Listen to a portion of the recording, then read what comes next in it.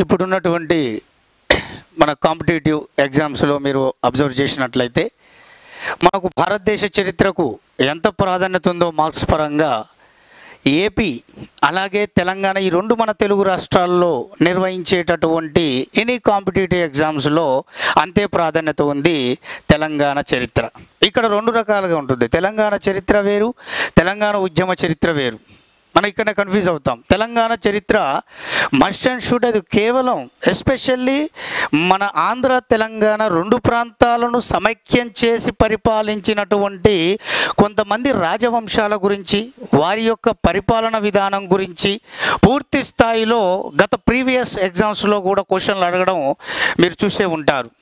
అందులో వందకు వంద శాతం దాదాపుగా ఇటు ఏపీ అయినా ఇటు తెలంగాణ రాష్ట్రంలో అయినటువంటి జరిగేటటువంటి ప్రతి కాంపిటేటివ్ ఎగ్జామ్లో తెలంగాణ చరిత్ర అనేటటువంటి ఒక అధ్యాయాన్ని మీరు చదువుతున్నప్పుడు అత్యంత కీలకమైనటువంటి ఏడు యూనిట్స్ గురించి మీరు తెలుసుకోవాలి.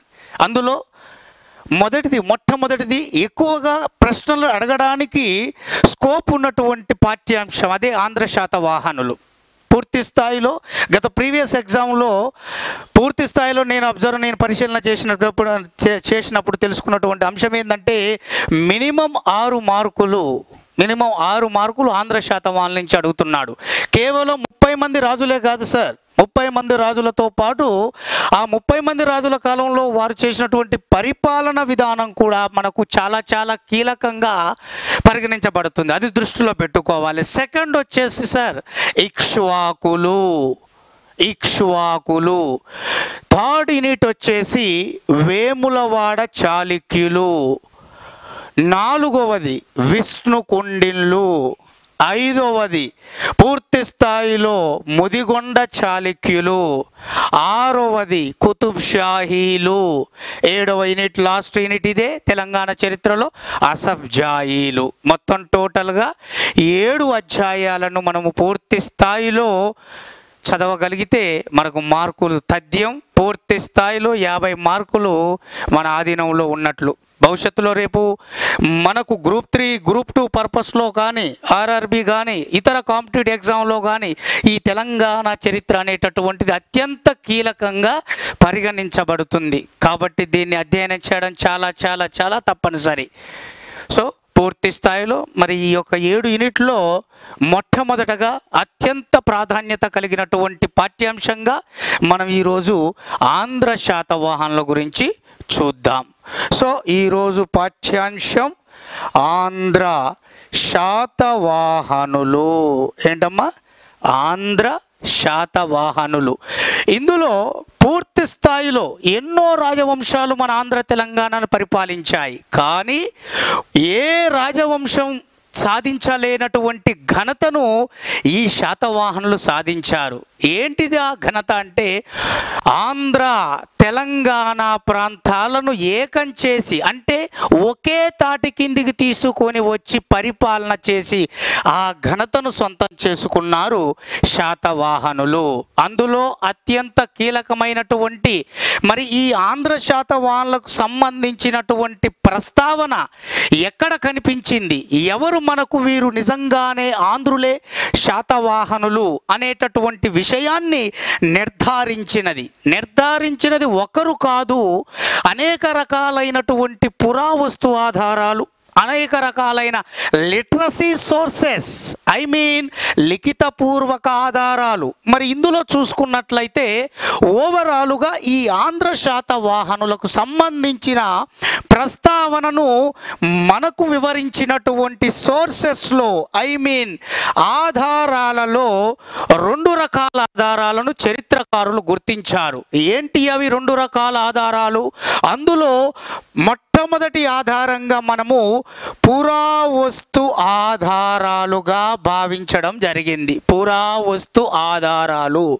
మరి రెండో రకమైన ఆధారంగా లిఖితపూర్వక ఆధారాలు. లిఖితపూర్వక ఆధారాలు అనగా వాంగ్మయ ఆధారాలు. మనకు చరిత్రకారులు అందించిన సమాచారం మేరకు పురావస్తు ఆధారాలు లిఖితపూర్వక ఆధారాలు అనగా ఏమిటయ్యా అంటే పూర్తి స్థాయిలో త్రవ్వ కాలంలో బయల్పడినటువంటి ప్రతి ఆధారం కూడా పురావస్తు ఆధారమే. త్రవ్వకాలలో త్రొవ్వినప్పుడు బయల్పడిన ప్రతి ఆధారం కూడా పురావస్తు ఆధారాలే. మనకు డౌట్ రావచ్చు. త్రవ్వకాలలో బయలుపడినవంటే చాలా వస్తువులు బయలుపడతాయి మరి ఏంటి సార్ ఎస్పెషల్లీ అనగా ఇందులో పూర్తి స్థాయిలో ఇన్స్క్రిప్షన్స్ శాసనాలు కాయిన్స్ నాణెములు అలాగే నిర్మాణాలు. లేదా కట్టడాలు శాసనాలు నాణెములు కట్టడాలు. పూర్తి స్థాయిలో ఈ మూడు కూడా పురావస్తు ఆధారాలుగా భావించబడడం అనేది జరిగింది. మరి ఇందులో ఓవరాలుగా లిఖితపూర్వక ఆధారాలు అనగా ఏమిటి సార్? అంటే ఇందులో గ్రంథస్థం చేయబడినటువంటి ప్రతి ఆధారం కూడా వాంగ్మేయ ఆధారాలు లేదా లిఖితపూర్వక ఆధారాలు. రాయబడినటువంటి ప్రతి ఆధారం కూడా లిఖితపూర్వక ఆధారమే. మరి ఇందులో కూడా చరిత్రకారులు మనకు రెండు రకాలైనటువంటి కేటగిరీస్ గురించి మనకు వివరించడం జరిగింది. అది వచ్చేసి మనకు ఒకటి స్వదేశీ రచనలు అలాగే విదేశీ రచనలు. స్వదేశీ రచనలు విదేశీ రచనలు. ఈ రెండు కూడా దేని కిందికి? లిఖితపూర్వక ఆధారాల కిందికి ప- వెళ్తుంది. పరిగణించబడుతుంది అన్నట్లు మరి ఇందులో మనకు ఈ పురావస్తు లిఖితపూర్వక ఆధారాలు ఈ రెండింటిలో ఫస్ట్ కేటగిరీ ఏమని చెప్పాము? శాసనాలని చెప్పాము. మరి ఆ శాసనాలలో బెస్ట్ ఎగ్జాంపుల్గా ఏంటి? మనకు చరిత్రకారులకు అత్యంత ప్రాముఖ్యత కలిగినటువంటి ఆధారాలుగా ఉపయోగపడిన శాసనాలలో కొన్నింటిని మనం ఇప్పుడు చూడబోతున్నాం. అందులో మొట్టమొదట అత్యంత ముఖ్యమైనటువంటి శాసనాల్లో ఇక్కడ చూడండి సార్. నాసిక్ మరియు కార్లే. నాసిక్ మరియు కార్లే అత్యంత కీలకమైన శాసనాల్లో. అలాగే నానాగఢ్ శాసనం నానాగఢ్ శాసనం అలాగే నాసిక్ మరొక రాజు సేమ్ మహారాష్ట్రలో నాసిక్ వద్ద వేయించిన శాసనం నాసిక్ శాసనం అలాగే సాంచి శాసనం సాంచి శాసనం అత్యంత కీలకమైనటువంటి ఈ యొక్క మేకధోని శిలాశాసనం మేకధోని శిలాశాసనం ఇక్కడ ఒకటి గుర్తుంచుకోవాలి. చాలా చాలా కీలకం ఆ పాయింట్. నేను ఇక్కడ రాసినటువంటి ఈ ఐదు శాసనాలు కూడా శాతవాహన రాజులు ముప్పై మంది వేయించినటువంటి ముప్పై మంది రాజుల్లో కీలకమైన రాజులు వేయించిన శాసనాలు.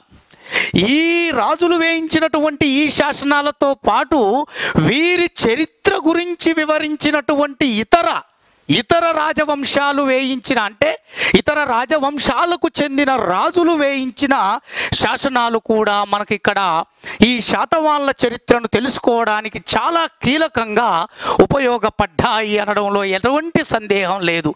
మరి ఏంటి సార్ అవి అంటే ఇక్కడ అత్యంత కీలకమైనటువంటి అశోకుని యొక్క రెండు మరియు పదమూడు శిలాశాసనాలు. అశోకుని యొక్క రెండు మరియు పదమూడు శిలాశాసనాలు.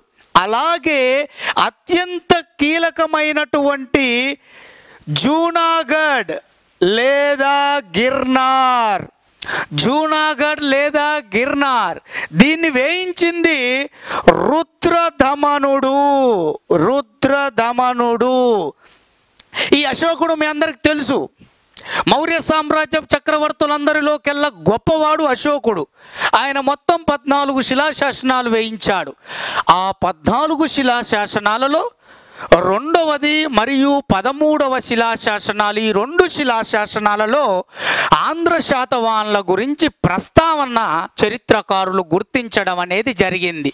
దీని ప్రకారంగా చరిత్రకారులు ఏ విషయాన్ని తెలుసుకోగలిగారయ్యా అంటే ఈ యొక్క మౌర్య సామ్రాజ్య చక్రవర్తి అయిన అశోకుడి దగ్గర సామంతులుగా ఉంటూ వారు సామంత పరిపాలన చేశారు ఆంధ్ర శాతవాహనులు అన్న విషయాన్ని ఈ రెండు శాసనాల ద్వారా తెలుసుకోగలిగారు. అలాగే భారతదేశంపైకి దండయాత్రకు వచ్చిన విదేశీయుల్లో ఒకరైన ఈ యొక్క శక వంశానికి సంబంధించినటువంటి రాజుల్లో గొప్పవాడిగా పేరుగాంచిన వాడే రుద్రధమనుడు. ఆ రుద్రధమనుడు వేయించిన జూనాగఢ్ లేదా గిర్నార్. ఎక్కడయ్యా ఇది? జూనాగఢ్ ఎక్కడ ఉంది? నేటి గుజరాత్ రాష్ట్రంలో. గుజరాత్ రాష్ట్రంలో జూనాగఢ్ ప్రాంతం వద్ద గిర్నార్ కొండలకు సమీపాన ఉన్నటువంటి ఈ జూనాగఢ్ ప్రాంతం వద్ద పూర్తిగా సంస్కృత భాషలో ఒక శిలాశాసనాన్ని వేయించడం అనేది జరిగింది. ఆ శాసనం ద్వారా కూడా ఈ శకులకు అలాగే ఆంధ్ర శాతవాన్లకు ఉన్నటువంటి వైరం అలాగే కొనసాగిన వైవాహిక సంబంధాలు వీటి గురించి పూర్తి స్థాయిలో చరిత్రకారులు తెలుసుకోగలగడం జరిగింది. అందులో అత్యంత కీలకమైనటువంటి నేను ఇక్కడ బోర్డు మీద రాసినటువంటి ఇన్ని శాసనాలలో ఈ జూనాగఢ్ లేదా గిర్నార్ శాసనానికి ఒక ప్రత్యేకత ఉంది సార్. ఏంటిదా ప్రత్యేకత?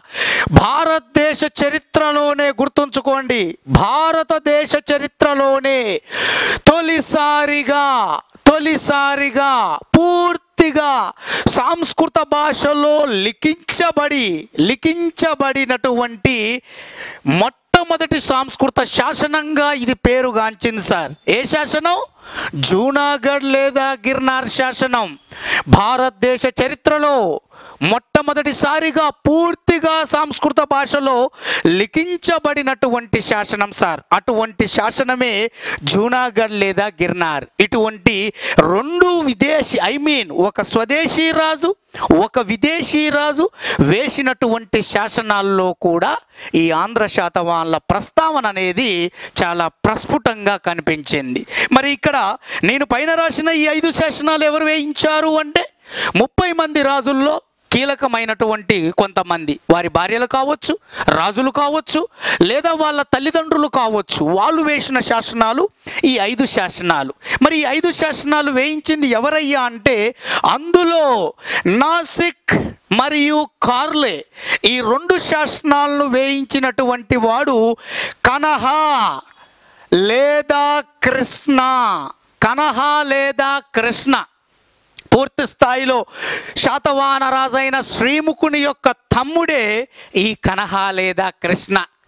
ఈ నాసిక్ కార్లే ఎక్కడున్నాయ్యా మహారాష్ట్రలోని రెండు ప్రాంతాలు. ఆ రెండు ప్రాంతాలలో ఈ శ్రీముఖుని తమ్ముడైనటువంటి కనహ లేదా కృష్ణుడు వేయించినవే ఈ రెండు శాసనాలు. అలాగే నానాఘాట్ ఇది కూడా మహారాష్ట్ర గుర్తుంచుకోవాలి. ఈ నానాఘాట్ శాసనాన్ని వేయించింది శాతవాహన రాజుల్లో ఒకడైన మొదటి శాతకర్ణి భార్య లేదా పట్టపు రాణి అయిన దేవి నాగానిక వేయించినటువంటి అద్భుతమైన శాసనం. నానాగఢ్ శాసనం. అలాగే నాసిక్ శాసనం. మరి దీన్ని వేయించింది ఎవరయ్యా అంటే గౌతమి బాలశ్రీ. గౌతమి బాలశ్రీ. గౌతమి పుత్ర శాతకర్ణి యొక్క తల్లి. ముప్పై మంది శాతవాహన రాజులందరిలోకెల్లా గొప్పవాడిగా పరిగణించబడినటువంటి వాడే గౌతమి పుత్ర శాతకర్ణి. ఆ గౌతమి పుత్ర శాతకర్ణి యొక్క తల్లి గౌతమి బాలశ్రీ. ఆమె వేయించినటువంటి శాసనమే నాసిక్ శాసనం నాసిక్ శాసనం సాంచీ శాసనం. మధ్యప్రదేశ్ రాష్ట్ర నేటి మధ్యప్రదేశ్ రాష్ట్రంలో ఉన్నటువంటి ప్రాంతం సాంచి. ఆ సాంచి దగ్గర ఒక శాసనాన్ని వేయించినటువంటి శాతవాహన రాజు ఎవరయ్యా అంటే రెండవ శాతకర్ణి. ఎవరు సార్? రెండవ శాతకర్ణి. ఇక్కడ మనకు పూర్తి స్థాయిలో ఈ రెండవ శాతకర్ణి యొక్క ఘనత ఏంటంటే మొట్టమొదటిసారిగా శాతవాహనుల్లో ఉత్తర భారతదేశంలో ఉత్తర భారతదేశంలో ఒక శాసనాన్ని వేయించినటువంటి రాజుగా పేరుగాంచాడు సార్ రెండవ శాతకర్ణి. ఇక మేకతోని శిలా శాసనం. దీన్ని వేయించినటువంటి వాడు మూడవ పులోమావి. మొత్తం శాతవాహన రాజులు మొత్తం ముప్పై మంది. ఆ ముప్పై మందిలో చివరి వాడు అనగా ముప్పైవ వాడు మూడవ పులోమావి. ఈ మూడవ పులోమావి వేయించినటువంటి శాసనం మేకధోని శిలా శాసనం. ఇన్ని శాసనాలలో ఈ ఒక్క శాసనానికి చాలా చాలా ఇంపార్టెంట్ ఉంది. ఏంటిదా ఇంపార్టెంట్? ఇన్ని శాసనాలు శాతవాహన రాజుల గురించి వాళ్ళ వ్యక్తిగత సమాచారం గురించి వారి పరిపాలన విధానం గురించి వివరిస్తే ఈ మేకధోని శిలాశాసనం మాత్రం శాతవాహనుల వంశం ఎలా పతనమయ్యిందో ఏ రాజవంశం వల్ల పతనమయ్యిందో ఆ ప- శాతవాహన వంశ పతనానికి కారకులు ఎవరు అన్న విషయాలను మనకు క్లియర్గా వివరించినటువంటి శాసనం మేకధోని శిలాశాసనం. ఇది ఎక్కడయ్యా అంటే నేటి కర్ణాటక రాష్ట్రంలోని బళ్ళారి జిల్లాలో ఉన్నటువంటి ఒక ప్రాంతమే మేకధోని. ఆ మేకధోని గ్రామంలో ఈ మూడో పులోమా వేయించిన ఈ శాసనమే మేకధోని శిలాశాసనం. కాబట్టి ఇందులో రేపు ఎగ్జామ్లో క్వశ్చన్ వస్తే డైరెక్ట్ మీరు ఏ విషయాలు ఆలోచించొద్దు. శాతవాన్ల వంశపతనం గురించి తెలియచేస్తున్న ఈ క్రింది శిలాశాసనం ఏంటిదయ్యా? అన్నప్పుడు వన్ అండ్ ఓన్లీ మేకధోని శిలాశాసనం రావాలి. ఇంకేం విషయాలు మీరు గుర్తు పెట్టుకోవాల్సినటువంటి అవసరం లేదు. సో ఇందులో మనకు ఇప్పటివరకు మనం డిస్కస్ చేసుకున్న దాంట్లో పురావస్తు ఆధారాలు ఆర్కియాలజికల్ సోర్సెస్లో ఫస్ట్ కేటగిరీ ఇన్స్క్రిప్షన్స్ అనగా శాసనాలు. నెక్స్ట్ కేటగిరీ మనకు నాణెములు. మరి నాణెముల్లో ఈ యొక్క పూర్తి స్థాయిలో పురావస్తు చరిత్రకారులకు పురావస్తు చరిత్రకారులకు పూర్తి స్థాయిలో ఆధారంగా ఉపయోగపడినటువంటి అత్యంత కీలకమైన నాణాలేంటి? అనగా మనకు అందినటువంటి సమాచారం ప్రకారం వీరు బంగారం నాణాలను అలాగే వెండి నాణాలను అలాగే సీసంతో తయారు చేసిన నాణ్యాలను ఈ మూడు నాణ్యాలతో పాటు ఒక అత్యద్భుతమైన తొలిసారిగా ఒక మిశ్రమ లోహంతో తయారు చేసినటువంటి నాణ్యాలను ఉపయోగించుకున్నారు సార్. ఎగ్జామ్లో అడిగినటువంటి క్వశ్చన్ సార్ ఏపీలో మొన్న అడిగిన గ్రూప్ త్రీ కండక్ట్ చేశారు గ్రూప్ త్రీలో అడిగినటువంటి క్వశ్చన్. పూర్తి స్థాయిలో పొటీన్ మొత్తం టోటల్గా ఇన్ని నాణాలను శాతవాహనుల కాలంలో ఉపయోగించడం జరిగింది. ఇందులో మరి ఏ నాణం ఏ పేరుతో పిలువబడ్డది? మరి అందులో ఏ నాణ్యాలను ఎక్కువగా ఉపయోగించారు? అనేది కూడా మనకు క్వశ్చన్ వచ్చే అవకాశం ఉంటుంది. అందులో బంగారం. ఈ బంగారం నాణ్యాలు ఈ పేరుతో పిలువబడ్డాయి సార్. సువర్ణాలు. వెండి. కర్షాపానం కర్షాపానం. ఇక్కడ ఒకటి గమనించాలి. మీరు ఒకటి గమనించాలి ఇక్కడ. బంగారం సువర్ణాలు వెండి కర్షాపానం. ఇందులో పూర్తి స్థాయిలో శాతవాన్ల కాలంలో బంగారు నాణాలు అనేటటువంటి ఏదైతే మనం ఇక్కడ చూసామో సువర్ణాలని ఒక్కొక్క సువర్ణం అనేది శాతవాన్ల కాలంలో ఎన్ని వెండి నాణాలతో సమానం? ఇది తెలంగాణలో తెలంగాణ రాష్ట్రంలో. ఎస్ఐ ఎగ్జామ్లో అది ప్రిలిమ్స్లో అడిగినటువంటి క్వశ్చన్. శాతవాహన కాలంలో ఒక బంగారు నాణ్యంగా భావించబడిన ఒక సువర్ణం అనేది ఎన్ని కర్షాపానాలతో సమానమయ్యా? అంటే ముప్పై ఐదు. అంటే మన పరిభాషలో చెప్పుకోవాలంటే ఒక బంగారం అని పిలువబడే బంగారు నాణ్యం అని పిలువబడే ఒక సువర్ణం ముప్పై ఐదు వెండి నాణ్యాలతో అంటే ముప్పై ఐదు కర్షాపానాలతో సమానం. అంత ప్రాధాన్యత కలిగి ఉన్నదని అర్థం. అలాగే మూడో కేటగిరీ సీసం. ఈ సీసం తర్వాత అత్యంత కీలకంగా ఎక్కువగా ఉపయోగించినటువంటిది పొటీన్ మీకు డౌట్ రావచ్చు ఇక్కడ. అన్ని చూసాం సార్ ఇంతవరకు ప్రోటీన్ పొటీన్ అంటున్నారు అందరూ. పొటీన్ అంటే ఏ లోహాలతో తయారు చేస్తారు? రాగి. అలాగే సీసం. గుర్తుంచుకోండి రాగి మరియు సీసం ఈ రెండు లోహాల మిశ్రమమే పొటీన్ అనేటటువంటి మిశ్రమ లోహం. ఈ లోహంతో తయారు చేసినటువంటి నాణ్యాలే పొటీన్ కాబట్టి ఇక్కడ ఈ నాలుగు నాణ్యాలకు సంబంధించినటువంటి విషయాన్ని మనం చదివి వదిలేయొద్దు. అందులో నుంచి క్వశ్చన్ లాజిక్గా అడిగాడు. ఏంటిది? ఈ నాలుగు నాణ్యాలలో మీరు ఇక్కడ చూస్తున్న నాలుగు నాణ్యాలలో శాతవాన్లు ఎక్కువగా ఏ నాణ్యంని ఎక్కువగా ఉపయోగించారయ్యా అంటాడు. అప్పుడు మనం తెల్ల ముఖం వేస్తాం. కాబట్టి లాజికల్గా చదవాలి. అందులో ఏంటిది? ఈ నాలుగు ఇచ్చినప్పుడు ఎక్కువ ప్రాధాన్యత కలిగింది బంగారం. మనం కాదనం ఆ విషయం. కానీ చరిత్రకారులు మనకందించిన సమాచారం మేరకు ఏంటిదయ్యా ఎక్కువగా వాళ్ళు ఉపయోగించిందంటే సీసం అనే లోహంతో తయారు చేసిన నాణ్యాలను ఎక్కువగా ఉపయోగించారు. కాబట్టి మీరు ఇంకేం ఆలోచించొద్దు. శాతవాహనుల కాలంలో ఎక్కువగా ఉపయోగించబడినటువంటి నాణ్యం అంటే సీసంతో తయారు చేయబడిన నాణ్యం. అలా కాకుండా శాతవాహనుల కాలంలో ఎక్కువగా ఉపయోగించబడిన ఇక్కడ నేను ఎక్కువగా అంటున్నాను ఎక్కువగా ఉపయోగించబడిన మిశ్రమ నాణ్యం మిశ్రమ లోహ నాణ్యం అన్నప్పుడు మీ మైండ్ ఎక్కడికి పోవద్దు సార్? పోటీన్ ఏంటి సార్?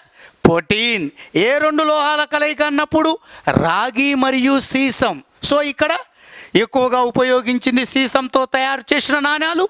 అలా కాకుండా ఎక్కువగా ఉపయోగించబడిన ఉపయోగించబడిన మిశ్రమ లోహ నాణ్యం అన్నప్పుడు మిశ్రమ అనే పదం మెన్షన్ అయినప్పుడు మాత్రమే మీరు ఆప్షన్ పొటీని ఎంపిక చేసుకోవాలి. సీసం అనేది నార్మల్గా ఎక్కువగా ఉపయోగించింది. సో ఈ పురావస్తు ఆధారాల్లో రెండో కేటగిరీ నాణెములకు సంబంధించిన సమాచారం. దాని మీద అడిగే ప్రశ్నలు ఇవి గుర్తుంచుకుంటే మనకు క్లియర్. ఇక మూడవది కట్టడాలు. ఐ మీన్ నిర్మాణాలు. మరి ఇందులో అత్యంత కీలకమైనటువంటిది వీరి కాలం నాటి కట్టడాలలో నెంబర్ వన్ స్తూపాలు నెంబర్ టూ చైత్యాలు నెంబర్ త్రీ విహారాలు. స్తూపాలు చైత్యాలు విహారాలు ఆరామాలు. స్తూపాలు చైత్యాలు విహారాలు ఆరామాలు. ఈ నాలుగు ఏ కేటగిరీ కింద ఆధారాలయ్యా అంటే కట్టడాలు లేదా నిర్మాణాలు. సో ఇవి మొత్తం టోటల్గా మనం ఇప్పుడు డిస్కస్ చేసింది. లేదా ఇప్పుడు మనం చూసుకుంది మొత్తం ఏ ఆధారాలు? పురావస్తు ఆధారాలు. అందులో మనం ఏం చూసాం శాసనాలు చూసాం నాణ్యాలు చూసాం కట్టడాలు చూసాం ఇప్పుడు ఇదే ఆంధ్ర శాతవాహనులకు సంబంధించినటువంటి సమాచారాన్ని అందించినటువంటి లిఖితపూర్వక ఆధారాలను చూద్దాం. మరి ఇందులో మీకు ఇందాక చెప్పినట్లుగా లిఖితపూర్వక ఆధారాలలో ఎన్ని రకాలు చరిత్రకారులు వాటిని విభజించారని చెప్పాను? రెండు రకాలు విభజించారని చెప్పాను. ఏంటి అవి ఒకటి? స్వదేశీ ఆధారాలు అలాగే విదేశీ ఆధారాలు. స్వదేశీ ఆధారాల్లో మనకు ఫస్ట్ కేటగిరీగా ఇక్కడ చూసుకుంటే మన రాజుల దగ్గర మన యొక్క ఆంధ్ర శాతవాన రాజుల దగ్గర వారి ఆస్థానంలో కవి పండితులుగా ఉంటూ వాళ్ళు రచించినటువంటి అద్భుతమైన సాహిత్యపరమైన ఆధారాలే స్వదేశీ ఆధారాలు లేదా స్వదేశీ రచనలుగా పిలువబడడం అనేది జరిగింది. మరి అందులో ఆనిముత్యం లాంటివి కొన్ని మనము చూసుకున్నట్లయితే అత్యంత ముఖ్యమైన కాతంత్ర వ్యాకరణం. ఒకటి నెంబర్ వన్ కాతంత్ర వ్యాకరణం. అలాగే బృహత్ కథ కాతంత్ర వ్యాకరణం. అలాగే నెంబర్ టూ బృహత్ కథ. అలాగే బృహత్ కథా మంజరి బృహత్ కథా మంజరి. కథ సరిత్సాగరం కథ సరిత్సాగరం పూర్తి స్థాయిలో కామసూత్ర కామసూత్ర గాద సప్తశతి గాద సప్తశతి అలాగే లీలావతి పరిణయం లీలావతి పరిణయం. ఒకసారి మళ్ళీ చూసుకుంటే కాతంత్ర వ్యాకరణం బృహత్ కథ బృహత్ కథా మంజరి కథా సరిచ్ఛాగరం కామసూత్ర గాథ సప్తశతి అలాగే లీలావతి పరిణయం. మరి వీటిని రాసింది ఎవరయ్యా? కాతంత్ర వ్యాకరణాన్ని రచించింది శర్వవర్మ. శర్వవర్మ. బృహత్కథను రచించింది గుణాజ్యుడు గుణాజ్యుడు. బృహత్కథ మంజన్ని రచించింది క్షేమేంద్రుడు క్షేమేంద్రుడు. కథా సరిచ్చాగరాన్ని రచించింది సోమదేవుడు సోమదేవుడు. కామసూత్ర అనే గ్రంథాన్ని రచించింది వాచ్యాయనుడు వాచ్యాయనుడు. గాథ సప్తశతిని రచించింది హాలుడు హాలుడు. లీలావతి పరిణయం అనే గ్రంథాన్ని రచించింది కుతూహలుడు కుతూహలుడు. ఇప్పటి వరకు మనం చూసుకునే మొత్తం స్వదేశీ ఆధారాలు. అంటే మన యొక్క శాతవాహన రాజుల ఆస్థానానికి సంబంధించిన కవి పండితులు అలాగే శాతవాహన రాజులకు సమకాలికులైనటువంటి కవి కవి పండితులు. వారు రచించినటువంటి గ్రంథాలలో అత్యంత ముఖ్యమైనటువంటివి ప్లస్ శాతవాన్ల యొక్క వంశ చరిత్ర గురించి వివరించినటువంటి ఆధారాలు అన్నట్లు. ఇవి స్వదేశీ ఆధారాలు. మరి విదేశీ ఆధారాల్లో Indica Indica natural history natural history. అలాగే a guide a guide to geography a guide to geography అలాగే Periplus of the Erythraean Sea. Periplus of the Erythraean Sea. మనకి ఇక్కడ చూసుకున్నట్లయితే పూర్తి స్థాయిలో ఇండికా న్యాచురల్ హిస్టరీ అలాగే a guide to geography Periplus of the Erythraean Sea అలాగే అత్యంత కీలకమైన గ్రీక్ చరిత్రకారుడైన స్ట్రాబో రచించిన స్ట్రాబో రచనలు. సో టోటల్గా మనకు ఇండికా ఈ ఎవరు రచించారయ్యా అంటే ఇండికా గ్రంథాన్ని మెగస్తనీస్ మెగస్తనీస్ న్యాచురల్ హిస్టరీ గ్రంథాన్ని రచించింది ప్లీనీ ప్లీనీ అలాగే ఏ గైడ్ టు జాగ్రఫీ గ్రంథాన్ని రచించింది? టాలామీ టాలామీ. ఇక్కడ మనకు పేరు తెలియని Periplus of the Erythraean sea గ్రంథాన్ని రచించింది ఎవరంటే పేరు తెలియని ఒక నావిగేటర్. ఐ మీన్ అజ్ఞాత నావికుడు. సో ఆయన రచించినటువంటి గ్రంథం Periplus of the Erythraean sea అలాగే గ్రీక్ చరిత్రకారుడైన స్ట్రాబో రచించిన పేరు తెలియని అతని రచనలు. కాబట్టి స్ట్రాబో రచనలుగా పిలవడం జరిగింది. ఇవి మొత్తం టోటల్గా మనకు ఆంధ్ర శాతవాన్లకు సంబంధించినటువంటి మనకు స్పష్టమైన సమాచారాన్ని చరిత్రకారులకు అందించినటువంటి ఆధారాలలో మనము పురావస్తు ఆధారాలు చూశాం. అలాగే లిఖితపూర్వక ఆధారాలు చూశాం. పురావస్తు ఆధారాల్లో శాసనాలు చూశాం నాణ్యాలు చూశాం కట్టడాలు చూశాం. వాంగ్మయ ఆధారాలు అలాగే అందులో మనకు స్వదేశీ ఆధారాలు ఇక్కడ మనకు విదేశీ ఆధారాలు. స్వదేశీ ఆధారాల్లో మనం ఇక్కడ చూసుకున్నట్లయితే ఇన్ని మొత్తం అత్యంత కీలకమైనటువంటి ఏడు గ్రంథాలు అలాగే అత్యంత కీలకమైన విదేశీ ఆధారాల్లో ఐదు గ్రంథాలలో ఆంధ్ర శాతవాన్లకు సంబంధించినటువంటి స్పష్టమైనటువంటి స్పష్టమైనటువంటి సమాచారాన్ని చరిత్రకారులు గుర్తించడం అనేది జరిగింది. ఇవే కాకుండా అత్యంత కీలకమైనటువంటి మన వైదిక మతంలో అత్యంత కీలకమైన హిందూ మతానికి సంబంధించిన వేద సాహిత్యంలో మణిపూసలుగా భావించబడినటువంటి కొన్ని ముఖ్యమైన ఆధారాలు కూడా ఈ ఆంధ్ర శాతవాన్ల గురించి వివరించడం జరిగింది. ఏంటి సార్ అయ్యి అన్నప్పుడు మనం ఇక్కడ క్లియర్గా చూసుకోవాలంటే వేద సాహిత్యంలో మణిపూసలుగా వేద సాహిత్యంలో మణిపూసలుగా భావించబడిన దాంట్లో నెంబర్ వన్ అత్యంత కీలకమైనటువంటి పురాణాలు. నెంబర్ టూ బ్రాహ్మణాలు. ప్రతి వేదంలో అనుబంధంగా భావించబడిన నాలుగు భాగాల్లో ఒకటైన బ్రాహ్మణాలు. అలాగే మన వైదిక మతంలో అష్టాదశ పురాణాలుగా భావించబడిన ఐ మీన్ పద్దెనిమిది పురాణాల్లో అత్యంత కొన్ని కీలకమైన పురాణాలు. ఇందులో చాలా స్పష్టంగా ఆంధ్ర శాతవాన్లకు సంబంధించిన సమాచారాన్ని మనకు తెలుసుకోవడం జరిగింది. చరిత్రకారులు వాటిని బట్టి కూడా ఎస్ వీళ్ళు పూర్తి స్థాయిలో అత్యంత కీలకమైనటువంటి పరిపాలన చేశారనే విషయాన్ని మనం చెప్పడం జరిగింది. మరి అందులో పురాణాలు. పద్దెనిమిది పురాణాల్లో అత్యంత కీలకమైనవి ఏంటి అయ్యా అన్నప్పుడు వాయు పురాణం వాయు పురాణం మత్స్య పురాణం వాయు పురాణం మత్స్య పురాణం అలాగే భవిష్య పురాణం వాయు పురాణం మత్స్య పురాణం భవిష్య పురాణం మొత్తం పద్దెనిమిది పురాణాలు. పద్దెనిమిది పురాణాల్లో అత్యంత కీలకమైనటువంటిది. అలాగే బ్రహ్మాండ పురాణం బ్రహ్మ పురాణం అత్యంత కీలకమైనటువంటి నేను ఇక్కడ బోర్డు మీద రాసినటువంటి వాటిల్లో కీలకమైనటువంటి వాయు పురాణం మత్స్య పురాణం భవిష్య పురాణం బ్రహ్మాండ పురాణం బ్రహ్మ పురాణం. ఈ పురాణాల్లో వీటికి స్పంది సంబంధించినటువంటి స్పష్టమైనటువంటి ఆధారాలు అనేది గుర్తించడం జరిగింది.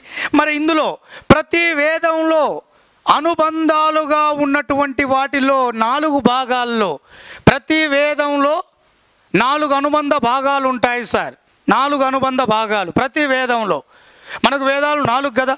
నాలుగు వేదాలు అన్నప్పుడు నాలుగులో ఋగ్వేదం సామవేదం యజుర్వేదం అధర్వణ వేదం ఈ నాలుగు వేదాల్లో అనగా ప్రతి వేదం నాలుగు భాగాలతో కూడి ఉంటుంది. ఆ నాలుగు భాగాలు ఏమిటయ్యా అంటే సంహితాలు బ్రాహ్మణాలు అరణ్యకాలు ఉపనిషత్తులు. సంహితాలు బ్రాహ్మణాలు అరణ్యకాలు ఉపనిషత్తులు. ఈ నాలుగు భాగాల్లో ఒకటే బ్రాహ్మణాలు. ఈ బ్రాహ్మణాల్లో అత్యంత కీలకమైనటువంటి ఈ ఆంధ్ర శాతవాన్ల గురించి మనకు వివరించినటువంటి బ్రాహ్మణం ఏందయ్యా అంటే ఐతరేయ బ్రాహ్మణం. ఏంటి సార్? ఐతరేయ బ్రాహ్మణం. ఈ ఐతరేయ బ్రాహ్మణంలో మొట్టమొదటిసారిగా ఆంధ్ర అనే శబ్దం గురించి చెప్పబడింది సార్. ఆంధ్ర. ఆంధ్ర అనే శబ్దం గురించి చెప్పబడిన మొట్టమొదటి బ్రాహ్మణం ఏంటంటే ఐతరేయ బ్రాహ్మణం. అంతేకాదు ఆంధ్రులు శాతవాహనులని నిర్ధారించింది లేదా వివరించినటువంటి బ్రాహ్మణం కూడా ఐతరేయ బ్రాహ్మణం. ఆంధ్రులు శాతవాహనులని నిర్ధారించినది మొట్టమొదటిసారిగా ఆంధ్ర అనే శబ్దం గురించి వివరించినది. ఏమిటయ్యా అన్నప్పుడు ఐతరేయ బ్రాహ్మణం. అర్థమైందా సార్? సో టోటల్గా మనకు ఆంధ్ర శాతవాన్లకు సంబంధించినటువంటి పూర్తి స్థాయి పురావస్తు ఆధారాలు వాగ్మేయ ఆధారాలు అలాగే మనకు వేద సాహిత్యపరమైన ఆధారాలలో ఈ ఆంధ్ర శాతవాన్లకు సంబంధించినటువంటి సమాచారాన్ని గురించి పూర్తి స్థాయిలో చరిత్రకారులు గుర్తించడం అనేది జరిగింది. మరి వీటి ప్రకారంగా మనకు పూర్తి స్థాయిలో ఆంధ్రశాత వాహనులు ఆంధ్రశాత వాహనులు ఎక్కడి వారు? ఎంతమంది? ఎన్ని సంవత్సరాలు పరిపాలించారు? అన్నటువంటి విషయాలను కూడా చరిత్రకారులు గుర్తించారు. ఏమని గుర్తించారు? ఇప్పుడు మనం డిస్కస్ చేసుకున్న ఇన్ని రకాలైన ఆధారాల ప్రకారంగా ఆంధ్రశాత వాహనులు ఉత్తర భారతదేశంలో పాటలీపుత్రాన్ని రాజధానిగా చేసుకొని పరిపాలించిన మౌర్యులకు సామంతులుగా ఉంటూ మౌర్యులకు సామంతులుగా ఉంటూ వారు పతనమైన తర్వాత అంటే వాళ్ళ సామ్రాజ్యాన్ని శృంగవంశం పతనం చేసిన తర్వాత ఈ యొక్క ఆంధ్ర శాతవాహనులు స్వతంత్రులుగా అవతరించి నర్మదా నది నుండి కృష్ణా గోదావరి డెల్టా నర్మదా నది నుండి కృష్ణా గోదావరి డెల్టా ప్రాంతాల వరకు తమ యొక్క సువిశాల సామ్రాజ్యాన్ని ఏర్పాటు చేసుకొని మొత్తం నాలుగు వందల యాభై సంవత్సరాలు పరిపాలన గావించారు. ఏంటి సార్? ఎక్కడి నుంచి ఎక్కడికి? నర్మదా నది నుండి కృష్ణా గోదావరి డెల్టా ప్రాంతం వరకు సువిశాల సామ్రాజ్యాన్ని ఏకధాటిగా నాలుగు వందల యాభై సంవత్సరాలు. ఎంతమంది సార్? ఎంతమంది పరిపాలించారు? ముప్పై మంది రాజులు. నాలుగు వందల యాభై సంవత్సరాలు. పూర్తి స్థాయిలో నర్మదా నది నుండి కృష్ణా గోదావరి డెల్టా ప్రాంతం వరకు తమ సామ్రాజ్యాన్ని విస్తరించి పరిపాలించడం అనేది జరిగింది. ఈ యొక్క ఆధారాల ప్రకారం మనకు పూర్తి స్థాయిలో వారికి సంబంధించిన ప్రాథమిక సమాచారం అనేది ఇది. మరి ఇందులో భాగంగానే కొంతమంది చరిత్రకారులు ప్రసిద్ధి చెందినటువంటి చరిత్రకారులు అసలు ఆంధ్ర శాతవాన్లు ఆంధ్ర శాతవాన్లు అంటున్నాము. మరి ఈ ఆంధ్ర శాతవానులు మన ఆంధ్ర లేదా తెలంగాణ ప్రాంతాలకు చెందిన వాళ్ళ లేదా వివిధ రకాలైనటువంటి ప్రాంతాల నుండి వచ్చి వలసగా ఇక్కడ స్థిరపడ్డారా? అసలు వీళ్ళు ఎక్కడి వాళ్ళు? వీళ్ళ జన్మస్థలానికి సంబంధించిన ముఖ్యమైనటువంటి కొన్ని అభిప్రాయాలను కొంతమంది చరిత్రకారులు చెప్పడం జరిగింది. వాళ్ళకు లభ్యమైన ఆధారాల ప్రకారం. అసలు ఈ శాతవాన్ల యొక్క జన్మస్థలం ఏంటిది? ఇందులో కూడా మీరు గమనించినట్లయితే ఇందులో కూడా మీరు గమనించినట్లయితే చాలామంది చరిత్రకారులు వివిధ రకాల అభిప్రాయాలను వెలుబుచ్చారు. ఏంటి అభిప్రాయాలు? అనగా అందులో మొట్టమొదటిది మనం చూసుకున్నట్లయితే ఆంధ్ర శాతవాహనుల జన్మస్థలం ఆంధ్ర కాదు తెలంగాణ కాదు. వాళ్ళ కొంద కొంద శాతం మహారాష్ట్ర ప్రాంతానికి చెందిన వాళ్ళు. అంటే ఆంధ్ర శాతవాన్ల నేటివ్ ప్లేస్ అనేది మహారాష్ట్ర అన్నటువంటి వాదనను బలపరిచినటువంటి వాడెవరయ్యా అంటే పిటి శ్రీనివాస అయ్యంగార్. పిటి శ్రీనివాస అయ్యంగార్. ఈయన ఏమన్నాడు ఆంధ్ర శాతవాన్ల జన్మస్థలం? మిగతా ఏ ప్రాంతాలు కాదు వాళ్ళ యొక్క నేటివ్ ప్లేస్ అనేది మహారాష్ట్ర. నెక్స్ట్ మనకు రెండో వాదనను వినిపించింది. వీరు వంద కొంద శాతం మహారాష్ట్ర కాదండి వీళ్ళు కర్ణాటక. అంటే కర్ణాటక రాష్ట్రంలో మీ అందరికీ తెలుసు మనకు లోకల్ లాంగ్వేజ్ కన్నడం. అవునా?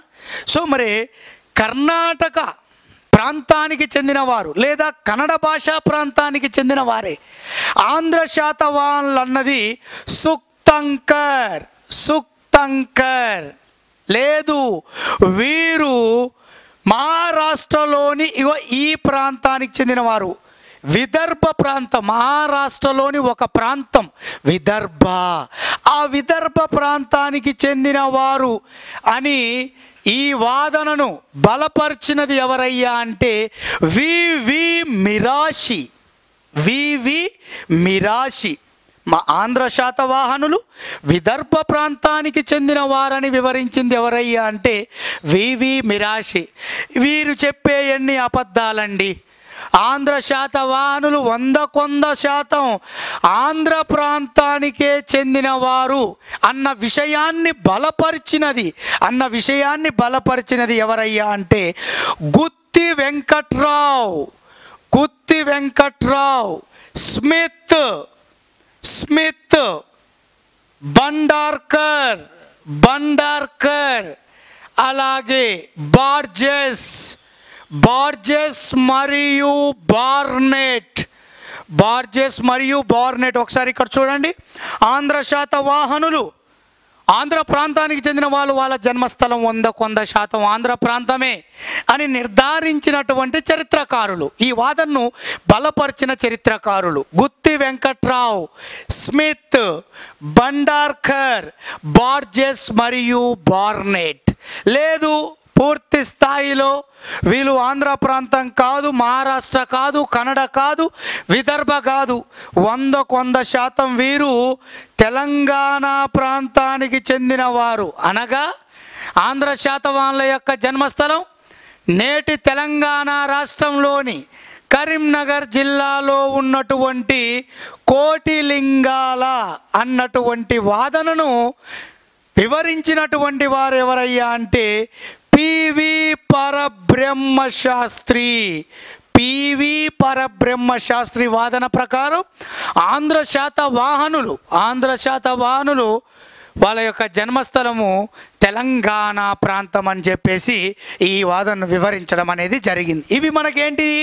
ఆంధ్ర శాతవానుల జన్మస్థలం ఎక్కడ వారు అన్న విషయానికి సంబంధించిన సమాచారం. మరి దీనితో పాటు చరిత్రకారులకు లభించిన ఆధారాల ప్రకారం చరిత్రకారులకు లభించిన ఆధారాల ప్రకారం వీరు టోటల్గా నాలుగు వందల యాభై సంవత్సరాలు నాలుగు వందల యాభై సంవత్సరాలు ముప్పై మంది రాజులు ముప్పై మంది రాజులు పూర్తి స్థాయిలో ఒక రాజధానిని చేసుకొని పరిపాలించలేదని ఒక రాజధానిని చేసుకొని పరిపాలించలేదని మొత్తం టోటల్గా వారి యొక్క రాజధానుల యొక్క సంఖ్య టోటల్గా ఎంత అయ్యా అంటే నాలుగు అని చెప్పడం జరిగింది. ఎన్ని సార్? నాలుగు రాజధానులు. మొత్తం టోటల్గా మనం గమనించేటైతే చాలా జాగ్రత్తగా చూడండి సార్. ఇవి కీలకం ఎగ్జామ్లో కూడా మనకు అడిగాడు. అందులో మనకు ఇక్కడ రాస్తున్నాను ప్రతిష్టానపురం ఒకటి. ఇదే ప్రస్తుతం మహారాష్ట్రలో ఈ పేరుతో పిలువబడుతుంది పైఠాన్. ప్రతిష్టానపురానికి నేటి పేరు పైఠాన్. నేటి ఏ రాష్ట్రం అయ్యా అన్నప్పుడు మహారాష్ట్ర. రెండవది ఇక్కడ మనకు రాజధాని చూసుకున్నట్లయితే అమరావతి. ఇదే ధాన్య కటకంగా పిలువబడింది సార్. ఇదే ధరణి కోటగా కూడా పిలువబడింది. అంటే అమరావతి అన్న ధరణి కోట అన్న ధాన్య కటకం ఒకటే అది శాతవాన్ల రాజధాని. అలాగే మూడవది శ్రీకాకుళం. మూడవది శ్రీకాకుళం. అలాగే అత్యంత కీలకమైనటువంటి నాలుగవది కీలకమైనటువంటి నాలుగో విషయానికి వస్తే అది కోటిలింగాల కరీంనగర్ జిల్లాలోని కోటిలింగాల ఇది అత్యంత కీలకమైన శాతవాన్లకు సంబంధించిన మొత్తం టోటల్గా ఎన్ని రాజధానులు? మనకు నాలుగు రాజధానులు. మరి ఇందులో క్లియర్గా మనకి ఇక్కడ ఒకసారి చూసుకున్నట్లయితే ఈ నాలుగింటిలో మనకు ఈ శాతవాన్ల యొక్క మొట్టమొదటి రాజధాని ఏమిటయ్యా అన్నప్పుడు ప్రతిష్టానపురం అని చెప్పాలి. శాతవాన్ల యొక్క మొదటి రాజధాని ఏంటిది? ప్రతిష్టానపురము. ఎలా చెప్పాలి? సార్ దానికి ఆధారాలు ఉన్నాయా ఎస్ మీరందరికీ ఒక డౌట్ రావచ్చు. సార్ ఇన్ని రాజధానులు ఉన్నాయి ఇందులో ఏంటిది మొదటి రాజధాని? ఏంటిది రెండవ రాజధాని? అన్నప్పుడు డౌట్ క్లారిఫికేషన్ ఒకటే. శాతవాన్ల యొక్క మొదటి రాజధాని ప్రతిష్టానపురము అనడానికి ఆధారంగా మనకు పూర్తి స్థాయిలో పిటి శ్రీనివాస అయ్యంగార్ అనే చరిత్రకారుడు ఈ వాదనను బలపరిచాడు. ఏమని? శాతవాహనులు మొట్టమొదట తమ రాజధానిని ప్రతిష్టానపురం చేసుకొని పరిపాలించి అక్కడి నుంచి వాళ్ళు తమ రాజధానిని అమరావతికి మార్చుకున్నారు అన్నటువంటి విషయాన్ని ఇక్కడ మనకు వివరించడం అనేది జరిగింది. మరి ఆంధ్రాలో ఆంధ్ర ప్రాంతంలో ఓవరాలుగా మొదటి రాజధాని ఏందన్నప్పుడు? ప్రతిష్టానపురం అని చెప్పాలి. శాతవాన్ల రాజధాని ఆంధ్రాలో మొదటిది ఏందన్నప్పుడు అమరావతి. ఆంధ్రాలో శాతవాన్ల మొదటి రాజధాని అమరావతి. ఆంధ్రాలో శాతవాన్ల రెండవ రాజధాని శ్రీకాకుళం. ఇవి కాకుండా తెలంగాణలో శాతవాన్ల తొలి రాజధాని. తెలంగాణలో శాతవాన్ల తొలి రాజధాని అన్నప్పుడు కోటిలింగాల. తెలంగాణలో శాతవాన్ల మొదటి రాజధాని కోటిలింగాల ఆంధ్ర ప్రాంతంలో శాతవాన్ల తొలి రాజధాని మొదటి రాజధాని అమరావతి. రెండవది ఆంధ్ర ప్రాంతంలో శాతవాన్ల రాజధాని శ్రీకాకుళం. అలాగే ఓవరాల్గా శాతవాన్ల మొదటి రాజధాని అన్నప్పుడు జనరల్గా ప్రతిష్టానపురం లేదా ఫైటాన్ అనేటటువంటి విషయాన్ని మనకి ఇక్కడ వివరించడం అనేది జరిగింది. ఇదేంటిది? శాతవాన్లకు సంబంధించిన రాజధానులకు సంబంధించినటువంటి సమాచారం అనేది మనం ఇక్కడ చూడగలిగాము. అలాగే మరి వీరికి సంబంధించినటువంటి వర్ణం కూడా చరిత్రకారులు మనకు వివరించడం అనేది జరిగింది. ఏంటిది? వీరు వర్ణం అంటే జనరల్గా మనకు ఋగ్వేదంలో మనకి ఈ విషయం ప్రస్తావన అవపడుతుంది. ఋగ్వేదంలో వర్ణ వ్యవస్థ గురించి చెప్పబడింది. ఏంటిది అది? వర్ణ వ్యవస్థ నాలుగు ప్రధాన అంశాల మీద నిబిడీకృతమై ఉంది. నాలుగు అంశాలతో. ఒకటి బ్రాహ్మణులు రెండు క్షత్రియులు మూడు వైశ్యులు నాలుగు శూద్రులు. ఇందులో అగ్రవర్ణం ఎవరంటే బ్రాహ్మణులు. దిగువ వర్ణం అన్నప్పుడు శూద్రులు. మరి ఇందులో ఓవరాలుగా ఈ వర్ణ వ్యవస్థలో పేర్కొనబడిన బ్రాహ్మణ క్షత్రియ వైశ్య శూద్రులు ఈ నలుగురిలో పూర్తి స్థాయిలో మరి ఈ శాతవాన్లు అనేటటువంటి వారు ఏ వర్ణానికి చెందిన వాళ్ళు? బ్రాహ్మణుల క్షత్రియుల వైశ్యుల శూద్రుల. బ్రాహ్మణుల క్షత్రియుల వైశ్యుల శూద్రుల. అందులో అత్యంత కీలకమైనటువంటి నాసిక్ శాసనం ప్రకారంగా నాసిక్ శాసనం ప్రకారంగా ఈ యొక్క శాతవాహనులు బ్రాహ్మణ వర్ణానికి చెందిన వారనే విషయం చరిత్రకారులు మనకు వివరించడం జరిగింది. అర్థమైందా? నాసిక్ శాసనం. ఎవరు వేయించారు?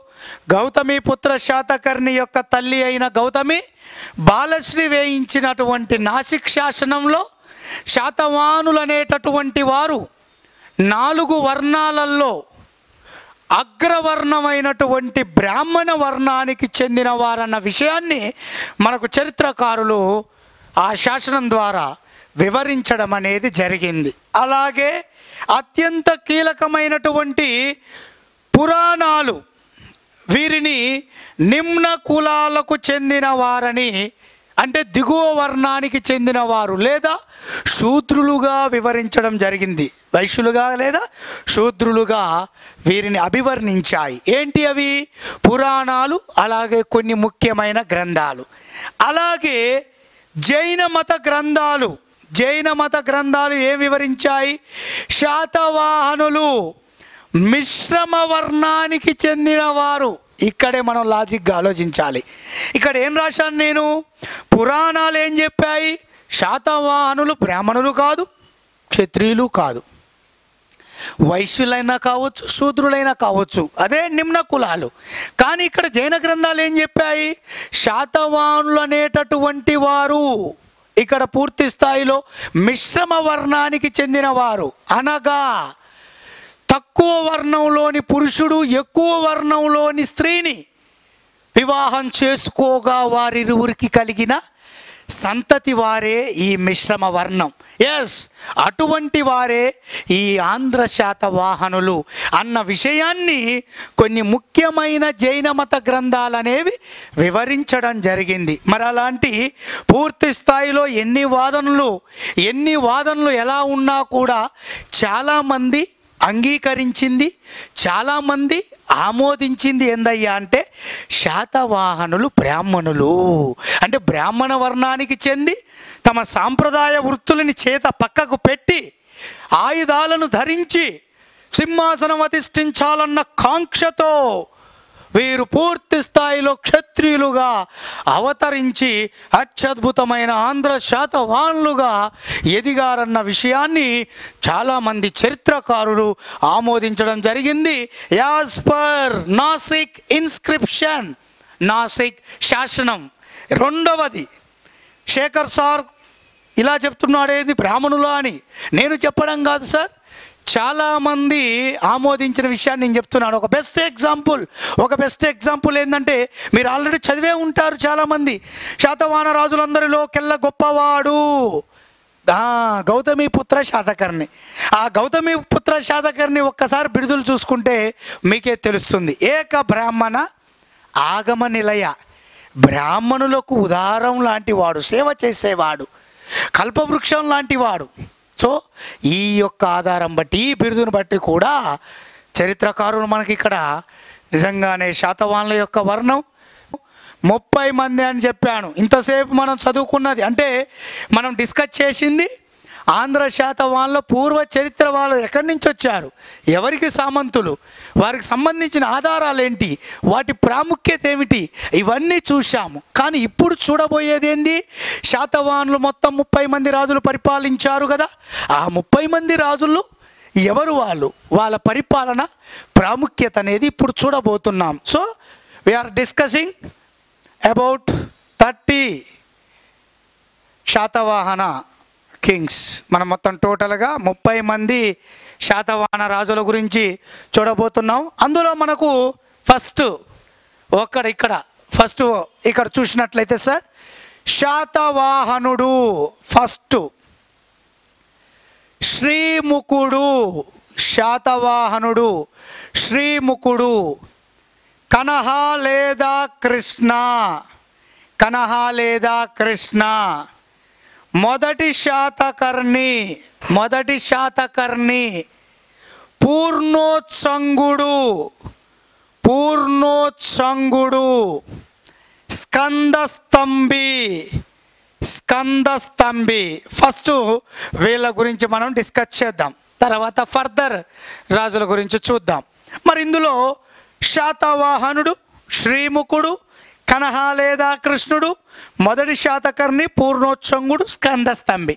వీళ్ళ సమాచారం ఏంది? అంటే ఇందులో ఫస్ట్ చరిత్రకారులకు వీరికి సంబంధించిన ఆధారాలు మొట్టమొదటగా నాణాల రూపంలో శాసనాల రూపంలో బయటపడ్డాయి. అందులో మొట్టమొదటగా నాణాల రూపంలో ఈ మొట్టమొదటి శాతవాన వంశం మూల పురుషుడైన శాతవాన గురించి ఇక్కడ గుర్తించారు సార్. ఎక్కడ? తెలంగాణ రాష్ట్రంలోని మెదక్ జిల్లాలో ఉన్నటువంటి ప్రాంతం కొండాపూర్. కొండాపూర్ వద్ద తవ్వకాలు ప్రారంభించినప్పుడు ఆ యొక్క త్రవ్వకాల్లో బయలుపడినటువంటి నాణాల ఆధారంగా శాతవానుడికి సంబంధించిన సమాచారాన్ని చరిత్రకారులు మనకు వివరించడం జరిగింది. అంతేకాదు సార్ ఈ కొండాపూర్ వద్ద బయలుపడినటువంటి నాణాల ప్రకారం నాణాల ప్రకారం శాతవాన వంశ మూల పురుషుడు ఎవరో కాదు. ఈ శాతవాహనుడే అని అలాగే ఈ ఆంధ్ర శాతవాహనులు ఆ పేరుతో ఆ పేరు అంటే ఇక్కడ ఏంటిది?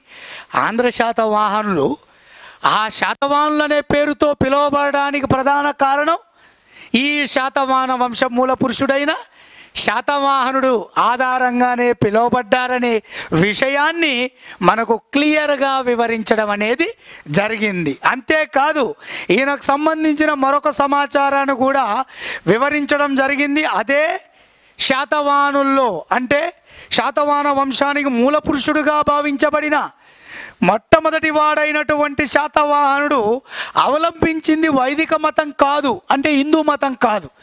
వైదిక అంటే ఏంది? వైష్ణవిజం వైష్ణవ మతం శైవ మతం భాగవత మతం. ఈ మూడు మతాల కలయికే వైదిక మతం.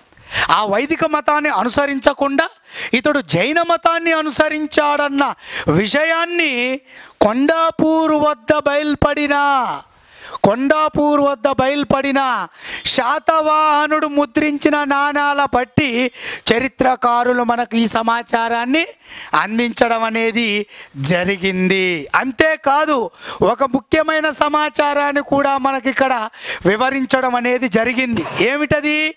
శాతవాహనుడు తన పరిపాలన కేంద్రాన్ని దీన్ని చేసుకొని పరిపాలించాడన్న వాదనను కూడా కొంతమంది చరిత్రకారులు మనకు వివరించాడు అంటే శాతవాన వంశ మూల పురుషుడుగా భావించబడిన శాతవానుడు యొక్క రాజధాని కోటిలింగాలని నిర్ధారించడం కూడా జరిగింది. ఇది మనకు శాతవాన వంశ మూల పురుషుడైన శాతవానుకు సంబంధించిన సమాచారం. శాతవానుడి తర్వాత శాతవాన సామ్రాజ్య సింహాసనాన్ని అధిష్ఠించినటువంటి వ్యక్తి ఈ శాతవాహన కుమారుడైన శ్రీముఖుడు ఎవరు? శ్రీముఖుడు ఈయన శాతవాన వంశ స్థాపకుడిగా పరిగణించబడ్డాడు. ఇక్కడ గుర్తుంచుకోండి సార్ శాతవానులో మీరు మూడు గుర్తుంచుకోవాలి.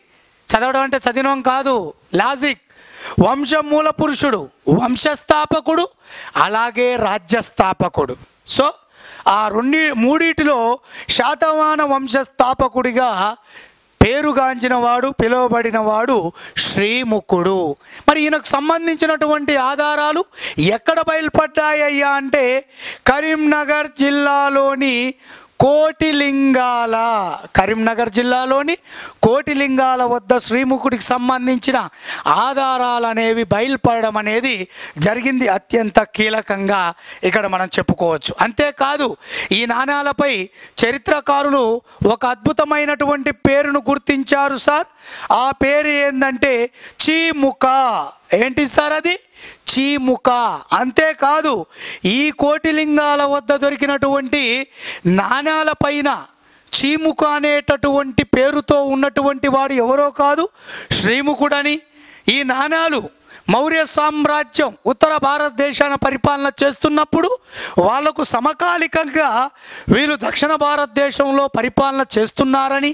కాబట్టి దీన్ని బట్టి నిజంగానే కొంతమంది చరిత్రకారులు చెప్తున్నట్లుగా ఆంధ్ర శాతవాహనులు అనేటటువంటి వారు మౌర్యులకి నిజంగానే సామంతులు అనే విషయాన్ని ఈ నాణాల బట్టి చెప్పడం జరిగింది. అంతేకాదు పూర్తి స్థాయిలో ఈ యొక్క చీముకగా పిలువబడిన శ్రీముఖుడు మౌర్య సామ్రాజ్యపు చక్రవర్తులందరిలోకెల్లా గొప్పవాడైన అశోకుడికి సామంతుడు అన్నటువంటి విషయాన్ని కూడా మనకిక్కడ ఈ నాణాల బట్టే చరిత్రకారులు గుర్తించి వివరించడం అనేది జరిగింది. అందులో అత్యంత కీలకమైన ఇంకొక పరిణామాన్ని కూడా చరిత్రకారులు ఇక్కడ గుర్తించారు.